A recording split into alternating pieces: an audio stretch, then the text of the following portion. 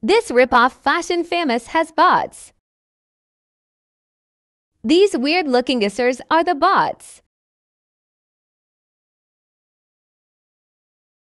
They just walk in random places saying the most random things.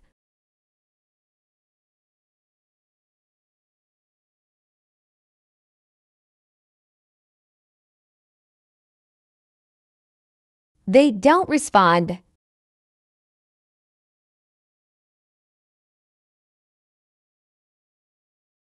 I went outside and this happened.